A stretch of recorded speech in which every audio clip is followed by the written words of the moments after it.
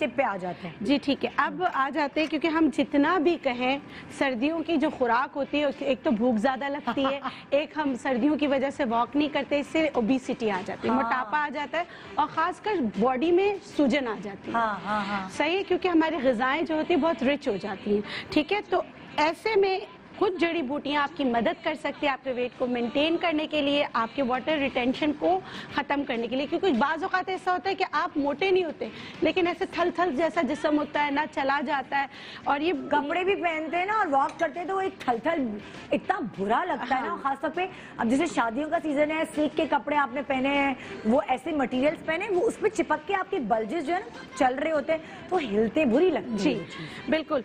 तो ये ये जो ये जो रेसिपी है ये आपको उससे निजात दिलाने में आपकी मदद कर सकता है। सबसे पहले भुट्टे के बाल। भुट्टे के बाल हम हमेशा किडनी के लिए इस्तेमाल करते हैं। यहाँ भुट्टे के बाल में आपकी किडनी के लिए भी बहुत अच्छा है क्योंकि किडनी को भी डिटॉक्स तो करना है और कोई भी हम जड़ी बूटियाँ या कुछ भी इस्तेमाल करते हैं बाज़ अवत पेशेंट ये शिकायत करते हैं कि मेरे गुर्दे में दर्द हो गया क्योंकि पानी का इस्तेमाल ऑटोमेटिकली सर्दियों में कम हो जाता है। ठीक है तो आपने एक भुट्टे के बाल लेना है मैंने ये एक लीटर पानी लिया इसमें इतना जो एक भुट्टे के बाल है ये मैं इसमें शामिल कर रही हूँ। इसमें सफ़ेद ज़ीरा एक चम्मच डाल रही हूँ। इसमें सौंठ पाउडर में जो है हाफ़ टी स्पून डाल रही हूँ। ये सारी चीज़ें आपको मिल जाएँगी।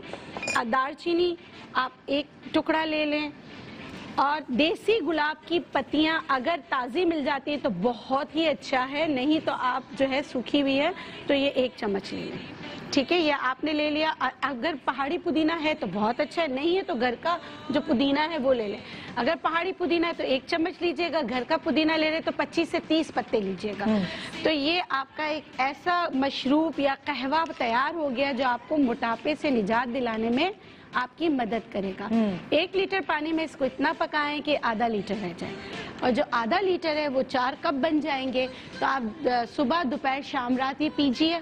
हर खाने के बाद पीजिए। तो इससे इनशाला एक तो आपकी जिसम की सूजन और आपके लीवर के लिए भी टॉनिक हो जाएगा किडनी के लिए भी टॉनिक हो जाएगा और आपको ओबीसिटी होने नहीं देगा।